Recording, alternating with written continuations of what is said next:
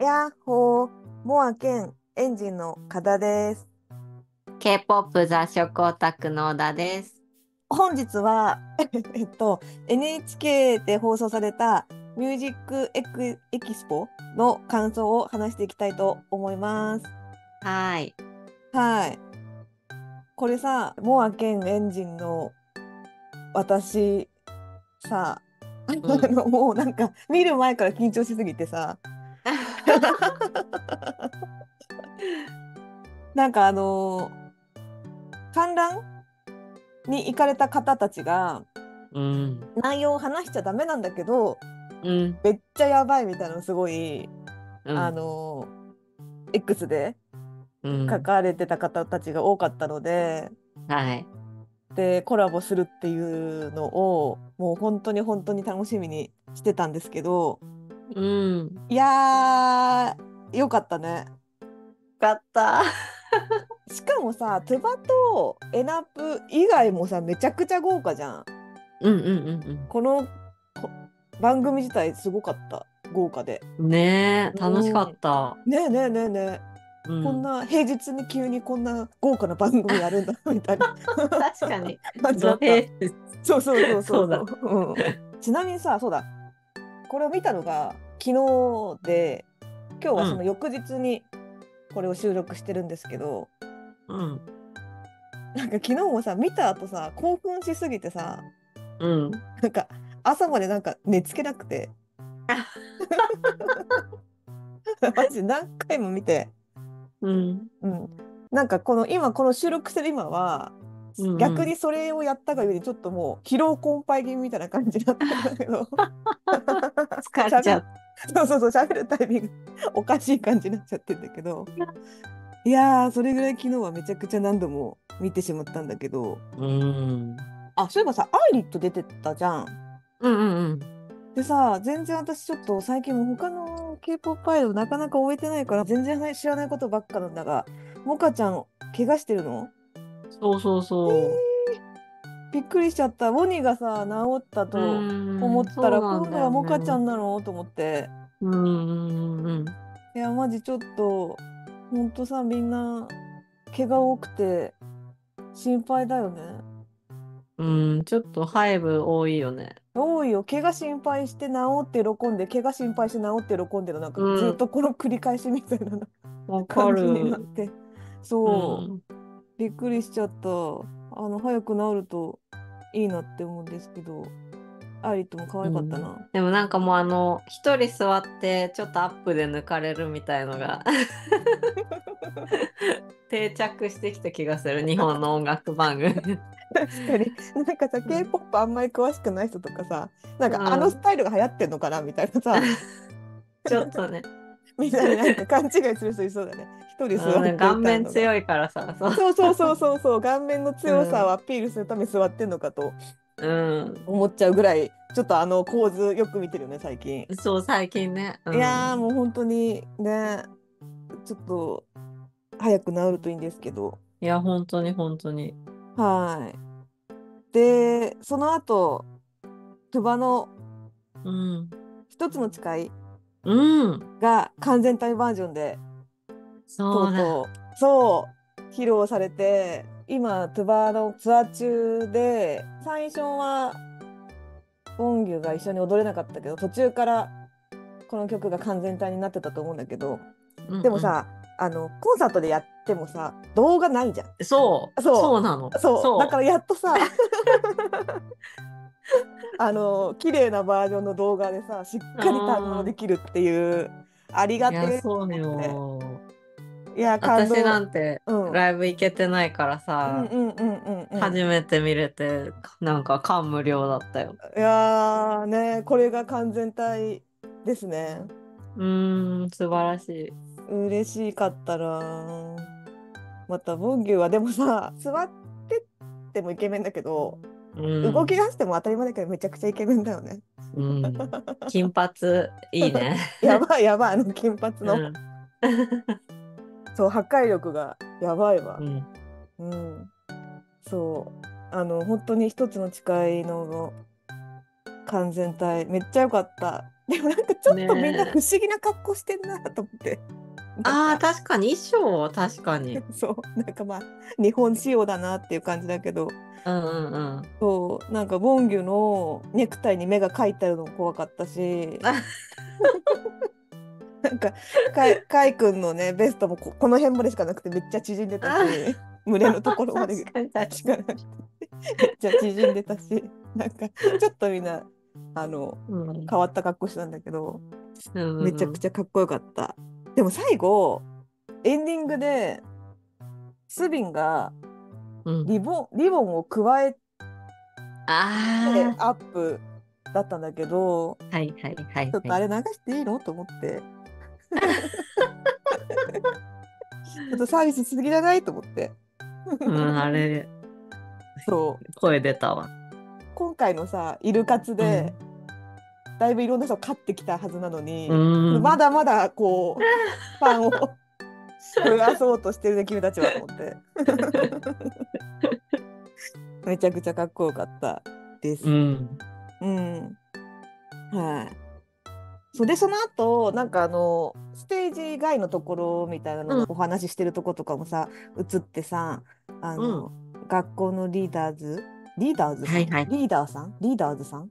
複数形リーダーズさん。複数形、うん リーダーズさんとさスビンボンギュジェイジョンウォンとかでさ喋っててさ、うんこの辺のコラボもなんか普段ないからさ、うん。ちょっとなんか変な感じというかちょっといや、ニヤニヤしわかるわかる。あうん。ねとりあえずなんかマジで J の日本語がうますぎていや、ほんとそれ。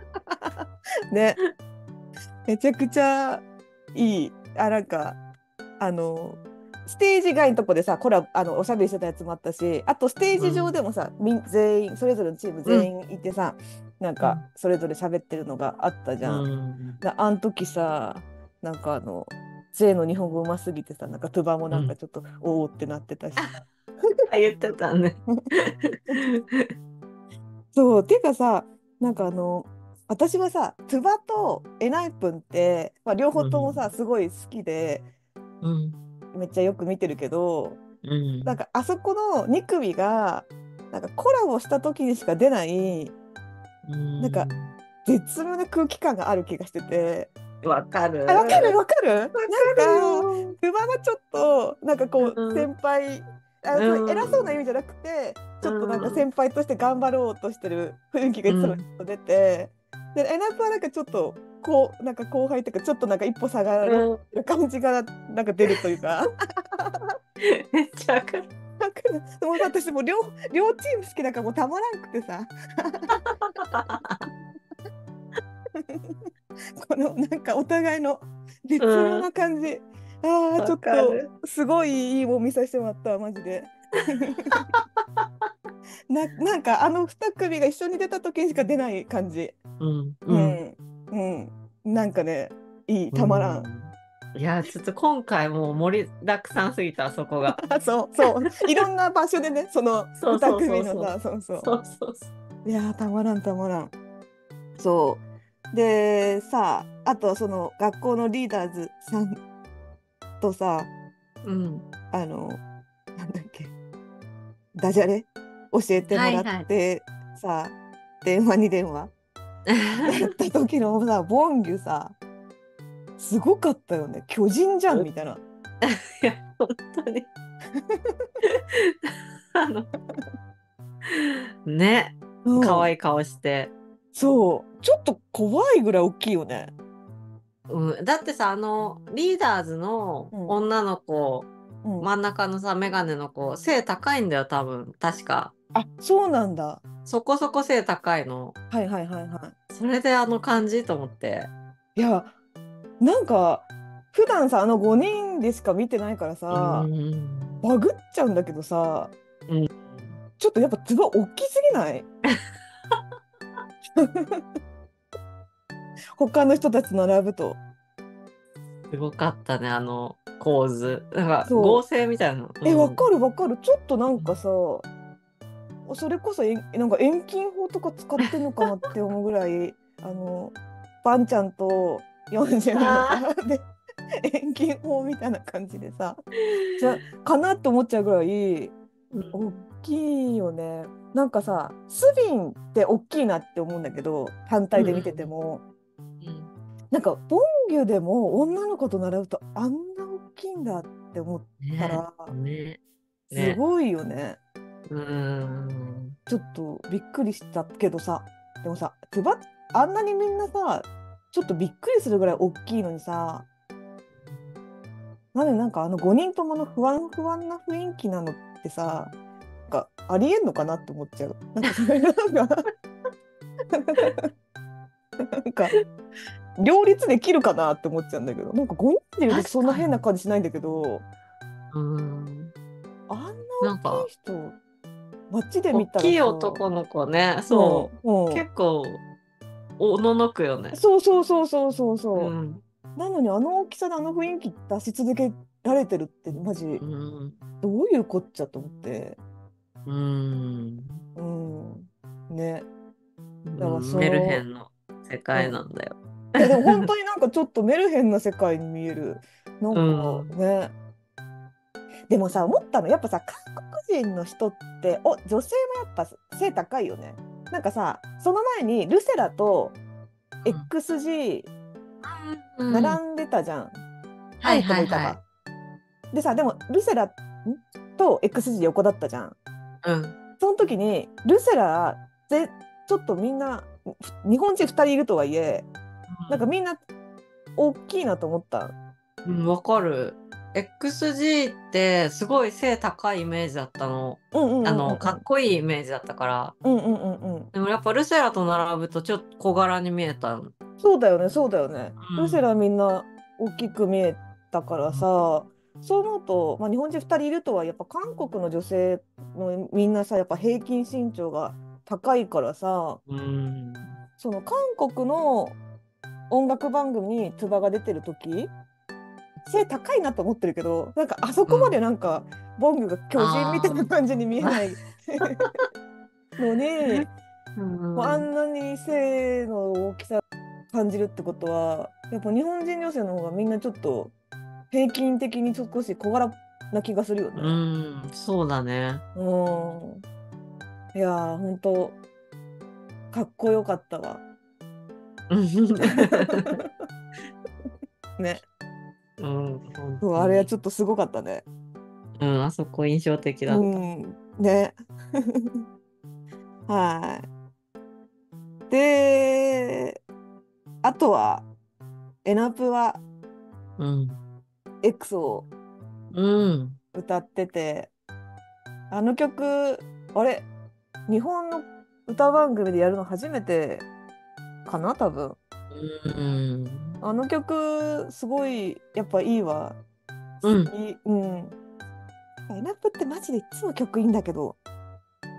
なんで来るよう。ーんそうでもあれ見て早く私も生でパフォーマンス見たいと思ってああ。そう見たことないからかっこよかった。そっか。うん、てかソヌがさ真ん中で真ん中に来てる時になんかニコッとするのほんとかわいい。うんしてたね。してためっちゃかわいい。カバン全部ビタミンなんでしょ。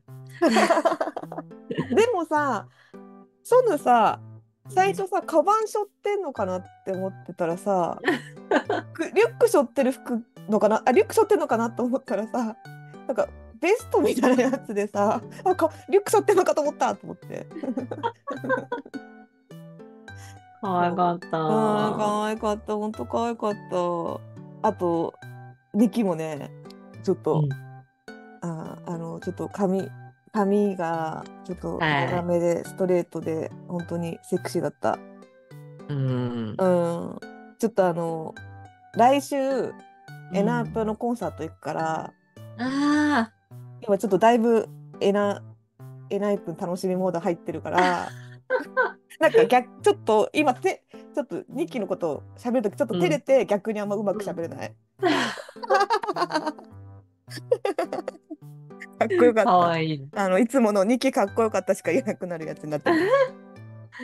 なんかさ、エナイプン、日本語担当がもう J みたいになってるからさ、ニキあんま喋んないの。確かにミキがしゃね普通だったら喋るとこ確かに。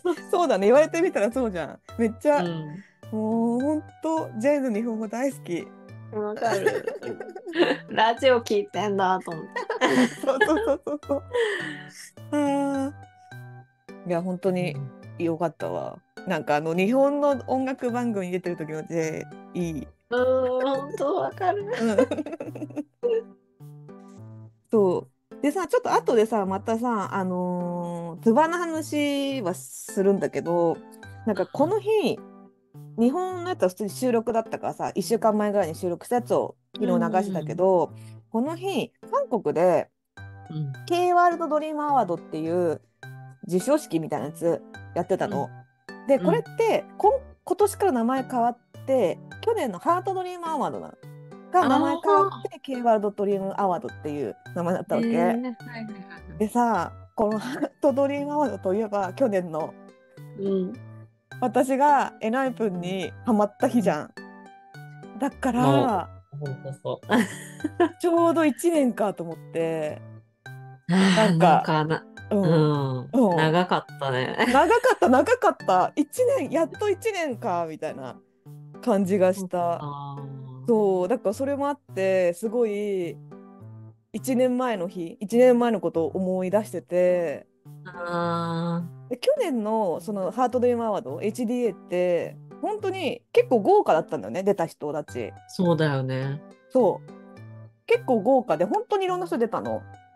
でさ私はさあのドボーイズも追ってるからドボーイズを見に行って他はさ、まあ、いろんな有名な人が出るからそれぞれ有名の人見るの楽しみだなぐらいのうん。テンションで行き、あの日出たさ、まあ、100人ぐらいの人の中からさ 2期に釘付けになったって今考えてもやっぱあの見つけ方自分の中で結構運命的だなと思ってて。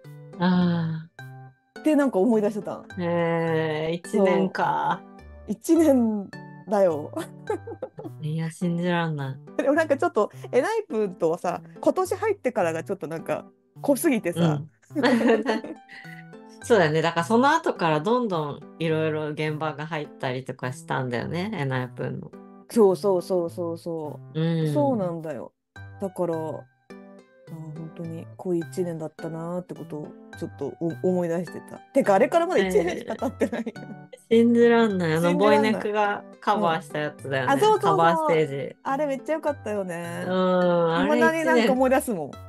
うん、あのわかるカバー良かったの。もう一回聞きたいなと思って、ボイネクで聞きたいよね。あれめっちゃ良かったよね。どっかでやっってほしい。どっかでやってほしい。うん。そう、あれからそう1年なんですよ。いやはい、ちょっと、いや、あの、ちょっとミュージックエクスポとは直接関係ない話が多かったんですけど、はい、ちょっとそんな感じで、ちょっとエモい気持ちで見ておりました。はい、で、その後、お待ちかねのコラボステージ。ーはい。はい。で、1曲目が、カイ君とジョンウォンのうん Vaundy の東京フラッシュのカバー。はい。あのー小田さん、 Vaundy 好きじゃないですか。はい。バウズです。はい、これめっちゃなんか難しそうな曲歌だね。お前また知らない,、知らないのかって感じなんだけど。ずいぶん難しそうな歌だなと思って聞いたんですけど、どどうでした？ Vaundy のファンからしたら。えー、嬉しいよ、嬉しい。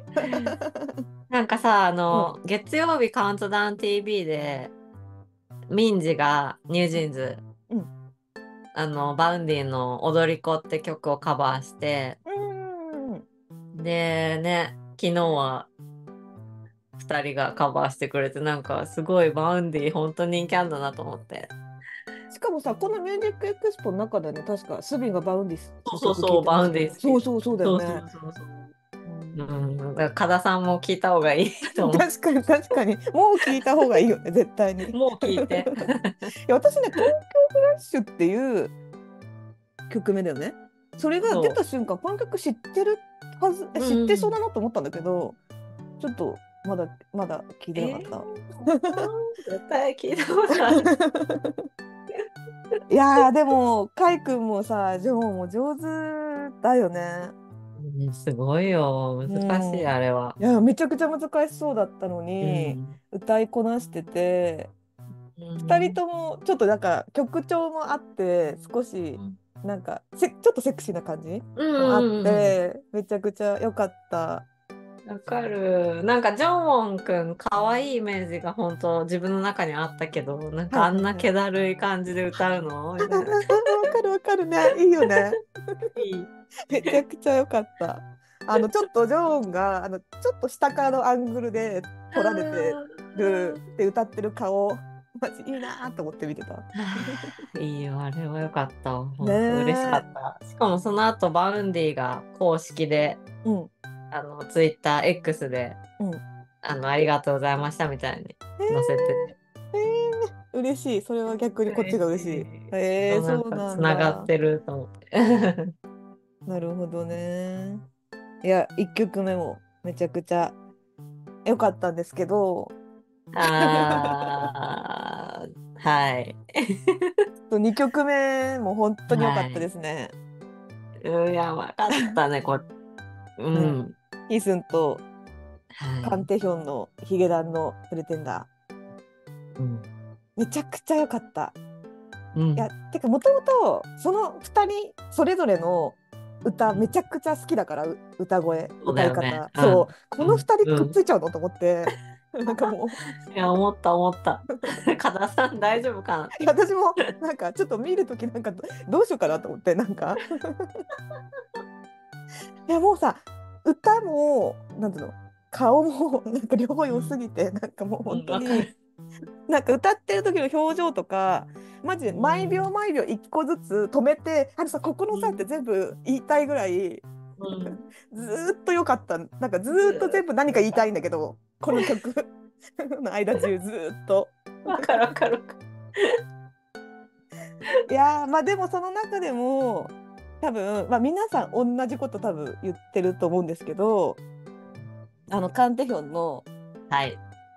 アドリブというかこう転調した後のあの顔、顔。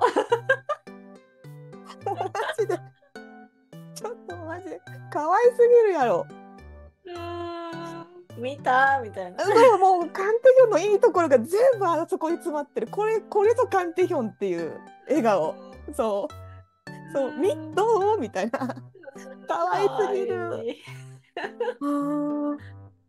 てかマジカンテヒョンさもう絶対にさカンテヒョンのちょっと前まではさこのちょっとなんていうのかな、か本当は可愛いのに自分のことすごいかっこいいと思ってるかっこよつける感じの多かったんだけどさ、もう本当に可愛さをさ最大限にさあの受け入れてるよね最近マジで。うんうんめちゃくちゃ良かった。ちょっとあの本当に歌もめちゃくちゃ上手だったしめちゃくちゃ良かったけどちょっとあのカンテヒョンのうん。笑顔み笑顔にちょっとうん。うん。やられやられてる。うん。う んなんかカメラアングルも良かったね。なんかちょうどしそうっかりなんかあのそうそうそうそうそうそうそう。ああマジであれが何回も見たわ。いやそう何回も見ちゃう。もう本当にカンテヒョンのいいとこ100%あそこに詰まってるんで、あのカンテヒョンのあの紹介とかするときに私、あそこのシーン使いたいもん。あーめちゃくちゃ良かったね。いやでもヒスンも本当かっこよかった。というか私はもう本当にヒスンの歌声と歌い方が本当に好き。うんうん。はあ、かっこよかったな。いやなんかもう修二とアキラみたいにさなんかグループ超えて活動してほしいぐらい本当だねもったいないあれ本当も確かに確かに。本当だね。ううんああ私めちゃくちゃファンになっちゃうよ。確かに確かにめちゃくちゃかっこよかった。でもさ、ヒスンは結構さ、その右右側にいるあの可愛い猫とは逆にちょっと終始かっこいいかったんだけど、歌い終わった後に2人がああのグータッチした後にキスもニコってすんの。かっこいい。あそこやば。でさ、テヒョンがありがとうって言ってさ、ヒスもありがとうって言って終わって、なんか私ニコニコみたいな感じで永遠にそのずっと見てたそれ。幸せすぎるだろそうマジで幸せすぎたわ。あー何回見たんだろうと思って一日で。うん、めちゃくちゃ良かった。ちょっとあのその歌のねとことかいろいろ言いたいんだけどちょっとまだ1日しか経ってないのでまだ全部が消化しきれてなくて、ちょっとまだま まだカンテヒョンのあの笑顔で止まってるまだ。他にもっといいとこあるだろう。そうそうそうそうそう。他の感想ないの盛りだくさんすぎてそうそうそうあの番組だけでさ、うん一生語れんの。いやそうそうそう本当そう。うん。いやー、やばい。はい。で、その次が、あの、ライズと、ウェイビーと、ナンバーアイのうん。ダンスメドレーも、めちゃくちゃ豪華だったよね。うん。うん。こっちはこっちで。そうそうそう。だから本当にさ、この番組すごくないと思って。すごいよね。いやー、だから全部良かったんだよね。なんかさ、ライズのサイレン、本当すごいよね。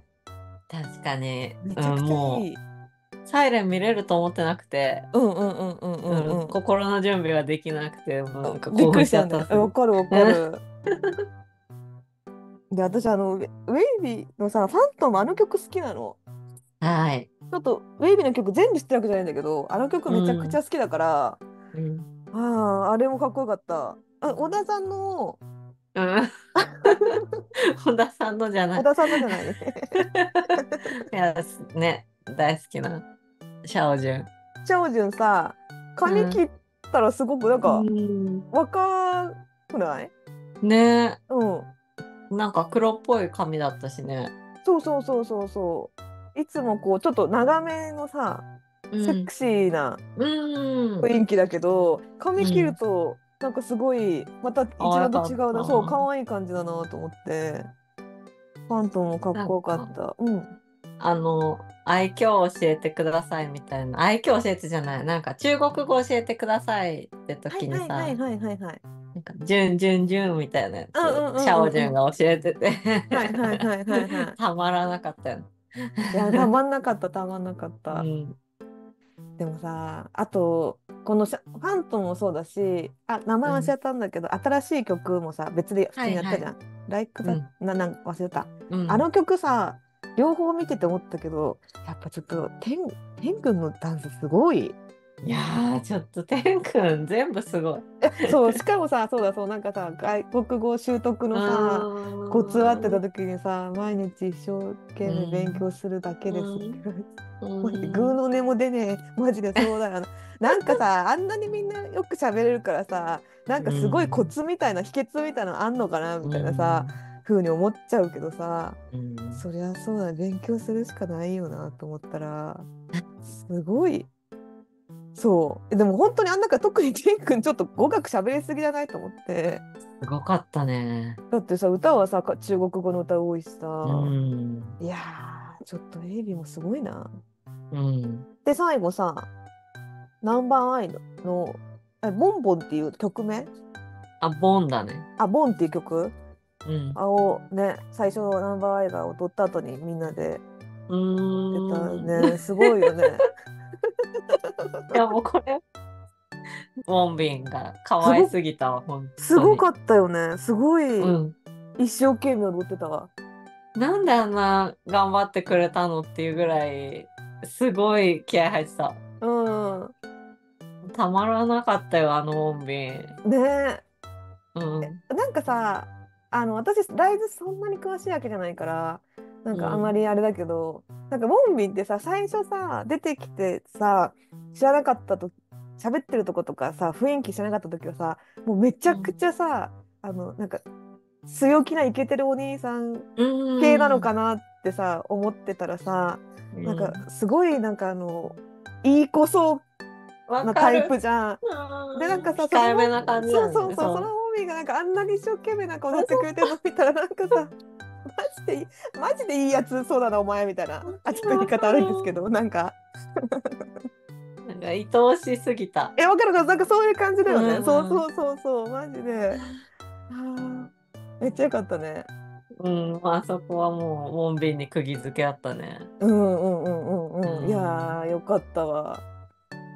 でもなんか、あのー韓国のアイドルと、まあ、ナンバーアイと、なんか一緒にこうんう、ダンスするっていうのも、ね、なんか普段今まであんまり見れ見れないステージだったから、確かに。そうそうそうよかったよね。うん。あーでも確かにウォンビン可愛かったわ。かわいい、本当に。そう、ウォンビンってそう、なんか可愛いっていう感じうん。なんだなーって、ね。そう思ったわ。で、そんな感じで、最後は、 TOMORROW X TOGETHER さんがもう一う曲ん。やってさ、めっちゃありがたかったわ。トリ、TOMORROW X TOGETHER さんです。あ、違う、言えない。TOMORROW X TOGETHER さんですかと思って。なんか、あの、いつも通り、パフォーマンスももちろん良かったんだけど、なんか、 MOA の掛け声がうん。すごくて、で、なんか、まあ、いつもさ、掛け声、一つの近い時も掛け声すごかったけど、なんかこの、こっちの曲、あの、ネイリスを左系の方の曲の、なんかこのモアの掛け声聞いてたら、うん。トゥバさんさ、すごいモアに愛されてるなぁと思って、なんかすごい嬉しかった。うん。うん。ね。いやー、本当に今年のトゥバのイルカツ、日本のテレビ番組どれも良すぎて、うん。なんか夢みたい。いやー、本当に。ねえ。って思っています。でさうんここのさ、ミュージックエクスポはさ、めっちゃみんな可愛かったんだけど、さっき言ったみたいにこの日はさ、あの、韓国で授授賞式がうんうん。あって、で、ミュージックエクスポでは、ボンギュが、あの、端っこに立ってダンスはちょっとしか踊らなかったんだけど、うん。その授賞式の方では、この曲もか5人で踊ったの。ボンギュああ、も踊ったの。なんだ。そう、なんか。かだいぶさ、ボンギュもさ、良くなってんのかなと思って、うん、よかった。そう、嬉しかったし、そっちのビジュアルが全員めちゃくちゃやばくて、えー、マジ？めちゃくちゃやい。ばいの。そう。なんか、カイ君がハーフアップしてて、あそう。っていうので、なんか、今まで見たことないカイ君だったし、えー、見たい。ヨンジュンは、うん。さらに、あの、最近ずっとさ、すごくがたいがいいというか、鍛鍛えてんだけど、さらに腕が、あの、筋肉がすごくなってて、うん。めちゃくちゃかっこよかったし、で、なんか、ボンギュも袖なしの服に、なんかジャケットみたいなの羽織ってんだけど、うんうん。ステージやってる途中、何回もそのジャケットをちょっとはだけさせて、腕見せんの、ボンギュが。休暇そう、ちょっと、なんか、なんかあんまりやっぱ見れないもん見れるときってなんかドキッとするよね。言いいや、方。わかるわかる。普段出してる人がさ、そうそうそうそうそう。と違うよね。そうそう。そうすごいドキドキしちゃってさ。うん。うんいやー、ちょっと、トゥバさん、なんか、トゥバさん、もちろんさ、なんつうの、ステージも、パフォーマンスも好きだし、みんな中身も好きだけど、でもなんか、まだまだこのビジュアルが全員あまりにも進化しすぎてって、ついていけないねって思ってる。いや、すごいよ、本当に。っていうか、この話何度も何度もしてるけど、トゥバさんうんたち、まだまだ若いから、これからもっとかっこよくなるって言ってたやつの、あの、うんいい時代にちょうど入ってきたあたりだなと思って。あー、確かに。そうそうそうそう、私ちょっとやばいよと思って。こっから。さらに。そうだよ。そうだよ。そうそうそうあんなにそ恐れていたのに。う。そうなの、そうなの。あのつ、いに。そう。若い時の可愛い感じももちろんいいんだけど、ちょっと20代中盤になってきた、ちょっと大人になってくるあたりが、いや、すごいね。はい。はあ、と思って、本当に、ちょっとミュージックエクスポはね、ちょっと見どころ多すぎて、うん。大変だったわ。うん。よかったです。最高でした。うんね、うんまたやってほしい。ねえ、またやってほしいよ。ちなみにさ、トゥバっはい。て他にもこの後なんさらに出んのかな日本の音楽番組わかんないんだけどうんうんうん。9月いつだったっけなえっ、とペイペイドームの次の日カウントダウン TV ライブに出るんああ、はいはいはいはい。あの、番響募集してたやつ。そうそうそうそうそうそう、はいはいはいはい。あれが当たったので。え？そう。え、そうなの？そうそうそうそうそう。すごっ。なのマジ？で、あのーこのイルカツテレビ番組え最高のうちの一個を見に行けそうってのですごくない？喜んでおります。ガーデンシアターかなんかだよね。あ、そうそうそうそうそうそうそすごいね。よく当たったね。う。ねえねえねえねえ、ラッキーだった。えー、すごいなただめちゃくちゃラッキーやから、マジ贅沢なこと言ってんじゃねえっていう感じの話一個すると、ぁ。なんかううその前の土日が福岡でペイペイドームなわけよ。でその次の日の簡単 TV なの。はいはいではいはい、私その次の日の福岡結構遅くに帰ってくる飛行機もう取っててあで簡単 TV ライブに当たったもんで飛行機のキャンセル料が1万5,000円ぐらいかかってあ。で飛行機がめっちゃ早く取ったからうん、で取り直ししたら3連休だからうわ、倍ぐらいになってもともと取った飛行機の。なんかそれを見るためにマジで4万ぐらい飛んで。やばい。マジで笑えないと思って。いやちょっと本当にあの本当にありがたいんだけど当たって、なんか、うん。あのひえーって思った。やばいね。なんか、ママの VIP 席みたいな。あそうそうそう。当た当たねこういう時限って当たんのよみたいな。そうそうそう。感じになりましたまあでもあのありがたいことなんで、うん。はい、あの喜んで4万円払って飛行機買いましたけど。すごい、いいな。そう。楽しみです。でもあれは、うん。あの見に行くのにもチケット代必要なんだよ。あ、そうだそうだ。そうそうそうそうだからそのチケッだ。トマジでなんか嬉しいんだけどマジでめちゃくちゃお金かかるんだけどと思ってそうだ。嘘みたいにお金かかってるけどと思ってちょっとなんかあのめっちゃ嬉しいんだけどうんちょちょっとびっくりしてる。そうか。ね似たようなモアさんいそうだけどね。いやいると思うそうそういると、ねいるんじゃないかなと思ってうん そうだしまだあの FC 選考の方で募集もするの。このあ募集っていうか、えー登録があるの。はいあーはいはい。だからあのこれ これから同じ状況になる方もいらっしゃるんじゃないかなと思って。なるほど。はい。まあでも手羽さん見に行けるならうん。仕方ない。必要いや、品でしょう。すごいな。今、冷静に一瞬になったら、すごい値段だなと思っいや私もちょっとびっくりした、これにかかった金額が。た。すごい。想定外の出費にしてはだいぶ。そうなのそうなの。そうなんかさプラス1万ぐらいかかっちゃったんだよねみたいなったらまだ来るじゃん、まあ、全部で5万ぐらいかかっちゃってんだけど。マジで笑えない。まあでもちょっと今年の夏は楽しく過ごそうと思って。いやー、ほん。と、羨ましい。はい。そんな感じですいません。ミュージックエキスポからあの韓国の授賞式の話まであとカウントラ TV の話まででちょっといろいろ混ぜ込んで喋ってすごい長くなっちゃったんですけど。うんうん。はい。あのちょっと昨日のこのミュージックエキスポが良すぎてうん。ちょっとテンションだだ上がっちゃった結果なんで皆様あの お許しください。怖がらないでください。